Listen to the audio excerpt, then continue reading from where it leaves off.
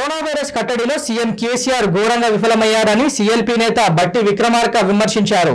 Covid రోగులకు పదివేల కోట్లు ఖర్చు చేస్తామని ప్రగల్భాలు పలికిన సీఎం కేసీఆర్ ఇప్పటి వరకు ఎంత ఖర్చు చేశారో లెక్క తెలపాలని డిమాండ్ చేశారు. తెలంగాణ ప్రజలు ఇప్పటికైనా మేల్కోవాలని పిలుపునిచ్చారు. ప్రభుత్వం మెడలు వంచి పనులు చేయించుకోవాలని సూచించారు. సీఎల్పీ బృందం ప్రభుత్వ ఆసుపత్రుల సందర్శన యాత్రలో భాగంగా నాలుగో రోజు మెదక్ కామారెడ్డి జిల్లా ప్రభుత్వ ఆసుపత్రులను సందర్శించింది. ఆరు సంవత్సరాల నుంచి నూట డెబ్బై రెండు మంది ఉద్యోగస్తులు ఖాళీగా పెట్టుకొని ఈ ముఖ్యమంత్రి ఈ రాష్ట్రాన్ని ఏం బాగు చేస్తున్నట్టు పోనీ ఇప్పుడు కరోనా వచ్చింది.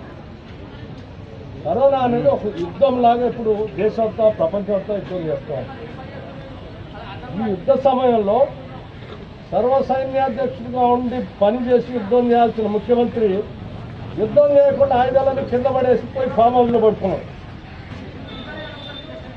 పోయి ఫామ్ హౌస్లో పట్టుకున్నాం ఇక సైన్యాధ్యక్షుడు ఉన్నటువంటి ఈటల రాజేంద్ర గారు అయితే ఆయన కింద సైన్యం ఎవరు ఆయన మాటండి ఆయన ఒక ఉత్తమ విగ్రహం లాగా మార్చేశారు. ఆయన చెప్తేవాడు ఆయన చెప్తేవాడు రూపాయి శాంక్షన్ చేసేవాడు లేదు.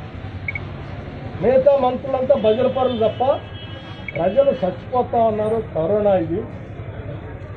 ఇటువంటి సమయంలో మనం అందరం బయటకు వచ్చి ఒక యుద్ధంలాగా చేయాలా? చివరికి ప్రధాన ప్రతిపక్షం ముందుకొచ్చి వాళ్ళకే వాళ్ళే ముందుకొచ్చి మేము ప్రభుత్వంతో సహకరిస్తాం. ఈ కరోనా ప్రజల్ని కాపాడే కార్యక్రమంలో అందరం సహకరిద్దాం ప్రజలు కాపాడుకుందామని మాకే మేము ముందుకొచ్చి చెప్పినాం. శాసనసభలో చెప్పినాం బయట చెప్పినాం.